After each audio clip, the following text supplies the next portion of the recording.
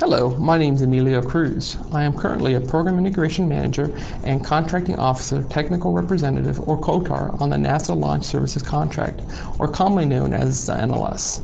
The NLS is a 10 year multiple award contract for expendable launch vehicle launch services.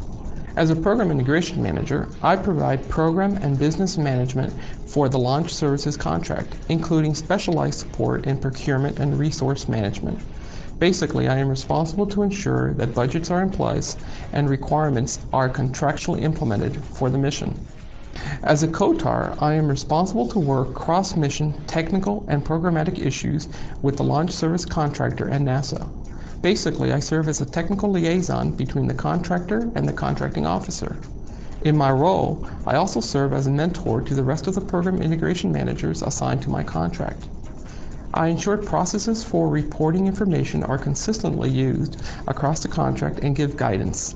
I monitor and brief launch service program management on a regular basis of status of all actions affecting my contract. In summary, multitasking is a major portion of my daily activities since my duties involve advising, coordinating, integrating, monitoring, and performing work in several phases of development. I am very fortunate to work for such a successful organization while growing up, I was always impressed with NASA's accomplishments and wanted to be part of the challenging work. Two of the most rewarding aspects of my job is the opportunity to work with a group of talented individuals who share the same goal of a successful mission and to be involved with a mission from the very beginning to launch.